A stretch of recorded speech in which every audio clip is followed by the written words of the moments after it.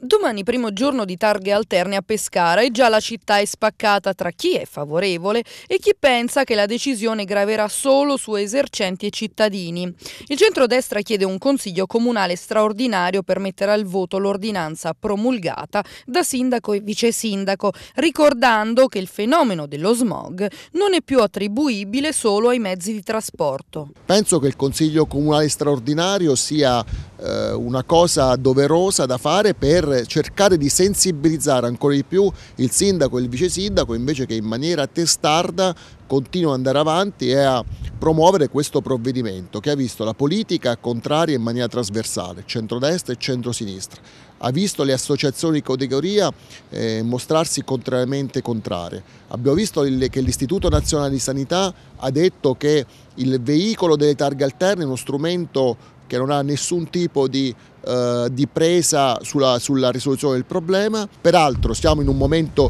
di saldi, quindi un momento importante per il commercio cittadino e quindi eh, riteniamo che questa eh, ordinanza vada a vessare e vada a